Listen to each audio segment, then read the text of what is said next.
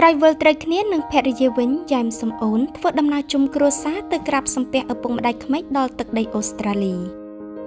មហាជនអ្នកតាមដានរបស់តារាចម្រៀងយ៉ែមសំអូនបានជ្រាបពីរឿងរ៉ាវជីវិតគ្រួសាររបស់លោកហើយដែលមួយរយៈកន្លងទៅលោកនិងអតីតភរិយាយ៉ានលីនដាក៏បានវិលត្រូវរើគ្នាជាថ្មីជួបជុំគ្រួសារនិងកូនកូនយ៉ាងកក់ក្ដៅក្រោយពីចែកផ្លូវដើររៀងខ្លួនអស់រយៈពេលជាង9ឆ្នាំមកពិតណាស់បន្ទាប់ពីបង្ហាញជាសាធារណៈឲ្យដឹងថាប្តីប្រពន្ធមួយគូនេះបានវិលផ្សះផ្សាគ្នាវិញក៏តែងឃើញសកម្មភាពជាច្រើនរវាងលោកយ៉ែមសំអូននិងភរិយាព្រមទាំងកូនស្រីបណ្ដោចិត្តរបស់អ្នកទាំងពីរដើរជុំគ្រួសារវិញយ៉ាងមានក្តីសុខនិងកក់ក្ដៅខ្លាំងលើពីនេះថ្មីថ្មីកន្លងទៅក្រោយជួបជុំគ្រួសារវិញបានមួយរយៈក៏បានឃើញលោកយ៉ែមសំអូននិងភរិយាព្រមទាំងកូនស្រីបានធ្វើដំណើររួមគ្នាជាលក្ខណៈគ្រួសារទៅលេងផ្ទះនៅឯទឹកដីអូស្ត្រាលីទៀតផងអ្វីកាន់តែគួរឲ្យចាប់អារម្មណ៍ទៀតខណៈទៅដល់ទឹកដីអូស្ត្រាលីផ្ទះរបស់អ្នកនាងយ៉ាលីនដាក៏បានឃើញលោកយ៉ែមសំអូនបានបង្ហាញសកម្មភាពគោរពចំពោះលោកឪពុកអ្នកម្ដាយក្មេកពលគឺឪពុកម្ដាយបង្កើតរបស់អ្នកនាងយ៉ាលីនដាដែលបានលុតជង្គង់សំពះបង្ហាញក្តីគោរពដ៏ប្រពៃក្នុងនាមជាកូនប្រសា